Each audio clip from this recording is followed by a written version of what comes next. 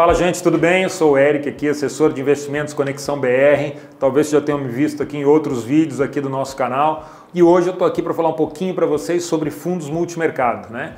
Acho que fundos multimercado, dentro do universo de possibilidades que a gente tem aqui dentro da parte ali de investimentos, os fundos multimercado merecem muito o destaque. Tá? Eu, particularmente, sou fã de fundos multimercado, já dei alguns cursos aí a respeito é, de fundos multimercados para o pessoal da área de finanças e eu gosto muito pela diversidade, né? pelo, pelo pela quantidade de possibilidades que a gente tem de caminhos a seguir dentro desse é, universo de fundos multimercado. Quando a gente vai pensar numa carteira de investimentos, é óbvio que a gente tem que pensar na parte de renda fixa, né? E hoje com o juro alto é difícil concorrer com esse juro alto, né? As pessoas sempre pensam, pô, o juro está alto, 13,75 ao ano, que é o que a gente está vivendo agora, né? Pô, para que, que eu vou tomar risco, né? Se eu posso ficar ali numa renda fixa, me contentar com quase 14% ao ano, pode ser que isso aí caia, obviamente tende a cair ali no tempo, mas pô, eu posso ficar confortável ali numa renda fixa, né? E eu acho que isso é até um grande problema para o investidor brasileiro, porque o histórico do investidor brasileiro ele sempre pode ficar mais acomodado nessa parte de renda fixa, porque com juro tão alto que a gente teve historicamente, é, eu não preciso buscar outras coisas, né? Basta ali investir num CDB, num LCI, num LCA, enfim, que eu vou ganhar ali o quanto para mim já seria satisfatório.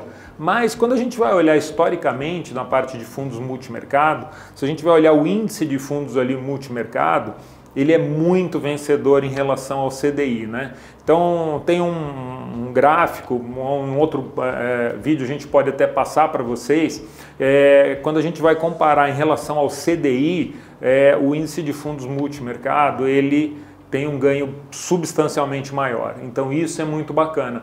Ele tem que ser maior, né? Por quê? Porque assim, se eu tenho 100% do CDI aplicando num CDB e eu vou sair de um CDB, que é um investimento sem volatilidade praticamente, né? Um CDB, um LCA, LCI, enfim, um produto de renda fixa que tem uma taxa pré-pactuada.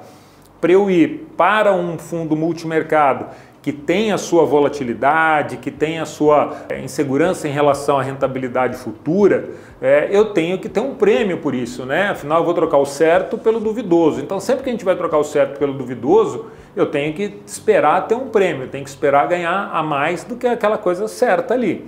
E quando a gente vai para fundos multimercado, a gente faz boas escolhas, né? E o que é uma boa escolha de um fundo multimercado?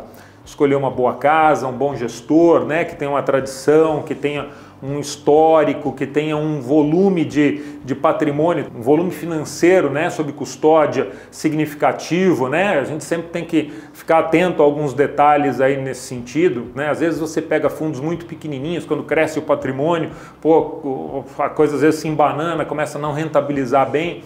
Ao passo que quando a gente pega fundos que já são maiores, que são mais consistentes, que o gestor já está mais acostumado a trabalhar com volumes maiores, a gente espera ali uma consistência maior ao longo do tempo, né? Então, quando eu vou para uma linha de fundo multimercado, eu tenho que ter o quê? Essa expectativa de ganhar mais, né? Não é para eu ganhar o que eu ganho numa renda fixa, é para eu ganhar mais. E realmente Nesse índice histórico aí de fundos multimercado, a gente realmente vê que os bons fundos eles entregam consistentemente mais. Quanto mais? Aí varia um pouco da volatilidade daquele fundo. Vai ser de os mais conservadores, 130, 140 do CDI, os mais agressivos conseguem entregar 170, 180, 200 do CDI às vezes no tempo.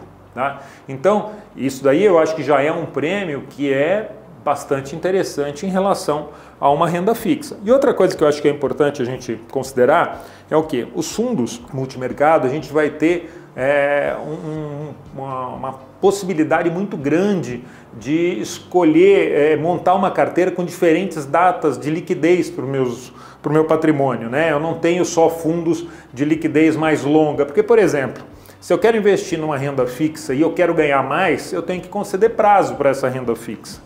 Né? Eu não posso querer ter um CDB com liquidez diária me entregando 120 do CDI, eu não vou achar isso. Eu vou conseguir 100%, mais ou menos perto de 100% do CDI, se eu quero a liquidez diária. Ou com uma liquidez de 30 dias, nem vou ter um CDB com um prazo desse. Aí vai ser prazo de um ano para me entregar 105, 110 do CDI. Ao passo que nos fundos multimercado, eu tenho fundos multimercado de liquidez de 10 dias, de 5 dias, de 30 dias, de 180, 360 dias. E aí eu posso montar uma carteira com diferentes prazos de liquidez para esses fundos e com diferentes características.